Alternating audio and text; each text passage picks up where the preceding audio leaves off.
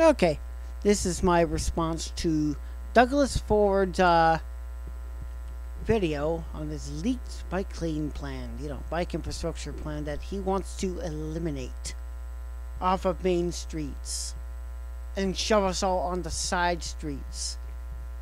His car brain is showing, and his lack of education in that regard is also showing, which is shitty. If he only biked more and biked on every street, he would know exactly what the fuck we had to put up with on a daily fucking basis. Okay, here we go. I will pause it while I listen to it to avoid having to edit this fucking video. You want to get traffic moving, huh? Well, reducing car dependency is the first thing you want to do. Second thing you want to do is to eliminate gridlock by, again, reducing car dependency. And another way of doing that is improving bike infrastructure, access to bikes, which obviously most places you can, and public transit. That's another thing you want to improve. Continuing on. Bollocks. Cars do not move quickly if stuck in gridlock. Yes. And I will say this. One car, the average size car, takes up the space of 6 to 9 bicycles, or 10 to 35 people. Uh, there's only bike infrastructure in the middle of the road on Regional Road 7 crossing the 400. Yes, it's a rather trivial thing they did, but that's the only road that's got them right in the dang middle. Oh, wait. Mexico City has it right in the middle, too. I've been there. Probably a lot's changed since 20, you know, 2010 or 2011. Continuing on. Uh, again, as you just made another mistake. They did not put the infrastructure in the middle of the fucking road on University Avenue or Bloor or Yonge north of Bloor. No, they have not done it. It's on the side of a street, the very right, right next to the curve, you know, right next to the sidewalk, not in the middle. Uh, side streets do not go everywhere. They cannot get you for example, if I want to go to Jane and Finch or Steeles or to Vaughan by bike, the side streets are not going to get me there. Period. There's no one direct connection straight up. There's no direct connection on side streets straight up. That is, and very few of them are traffic controlled. What part of that don't you get? And one car takes up the space of six to nine riding bicycles. You realize the cars are the source of the congestion, right? And making us force this all on side streets, that's not going to help because most businesses, malls, you know, every business, restaurants, whatever, they are on main streets. Only maybe a very few handful, yes, a fucking handful are on side streets. And yeah, most of them are on main streets. That's where we go. Taking away, alright, the safe passage. Because of the amount of shit that we gotta deal with on a daily basis. It's not the right way to go about this. Continuing on. Uh, no, you don't, Douglas. You don't bike in the city on a daily basis. You don't have to put up with the same shit that we have to put up on a daily fucking basis. Yes, getting honked at, getting close past, getting threatened, having shit thrown at us from cars, intentionally, possibly getting run off the road by impaired or aggressive motorists that think they have the so called right to drive? Driving is a fucking privilege, and it never ever will be a right. Continuing on. Okay, okay, okay. You're missing the point there. Okay? Let's just see here. Again, University Avenue. I bike up and down that road.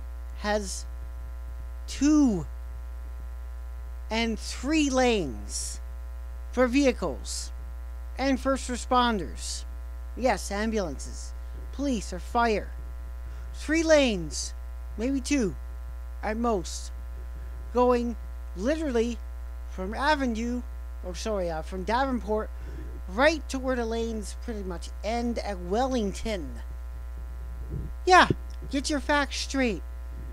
Use a bike, ride up and down the university from Davenport to Wellington, and you will notice there's two to three lanes at all times. At all fucking times.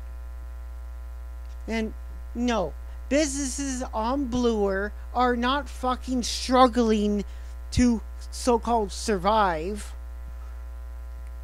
No, they're not struggling. However, the ones that are dependent on fucking cars and drivers to survive, nah, nah, nah, they're doing it wrong. Those ones are literally bound to tank. Yes, tank.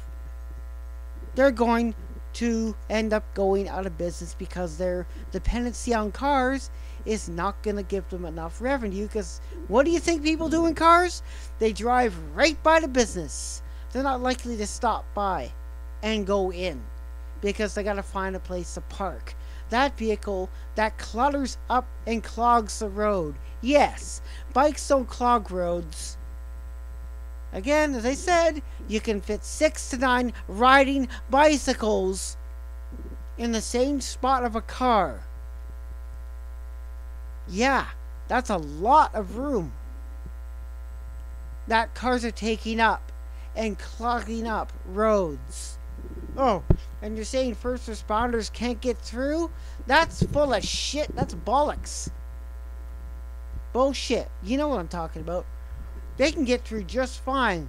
It's these shithead motorists, yes, shithead motorists, that don't give them the right of way. I've seen it. I've witnessed it myself. Literally blocking the ambulance from going past the sound of the sirens. Fire department literally had to ram this one vehicle, nice Porsche, ram it out of the way to get through. Because, yeah, they had to get to a fire. A fire that I'd seen. They ran the Porsche out of the way. Oh, boo hoo for the insurance. They had to get out of the way because it was illegally parked this way on Bloor Street. They rammed it out of the way properly into the parking spot. And the guy fucker wasn't even in the vehicle too. He came running out of the restaurant with his takeout bag screaming.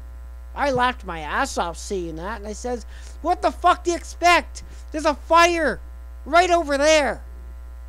And the guy was more concerned about his car than the actual paramedics and yeah, the fire department getting to the fire, which they actually did and they put it out. So, yeah. First responders, police and ambulance had no problem getting through on Bloor Street and Avenue, much as any other road that has bike infrastructure that provides the right to safe passage. Yeah. What part of that does Doug not get at all? He is only going to make it unsafe for public. Sorry, he's only going to make it far more unsafe for vulnerable road users that got to deal with this shit on a daily basis. And yeah, I remind you, I'm going to say it again being threatened, intimidated, harassed, chased, have things thrown at them. Yeah, it's shitty, it's horrible. What we gotta deal with, all the shit we gotta put up on a daily fucking basis. You know? No one should have to deal with that on a bike because it is your right to ride. We have the right to ride, wheel, roll, and walk. Those rights, those charter protected rights, will never be taken away from us. And if you think you can license walking or wheelchairs, you are a fucking ableist. Okay, these are my thoughts. I'll have to do some minimal editing, but then again, you've already seen the fantastic effects I can use, but whatever. Thank you for watching. If you don't like this video, if you're too car brain to use a bike, well, that's not my problem. Driving is a privilege, not a right. And it appears right in the first page of the driver's handbook. You know who makes that handbook up? The Ministry of Transportation. Yes, they also set the rules for the Highway Traffic Act. Not motorists.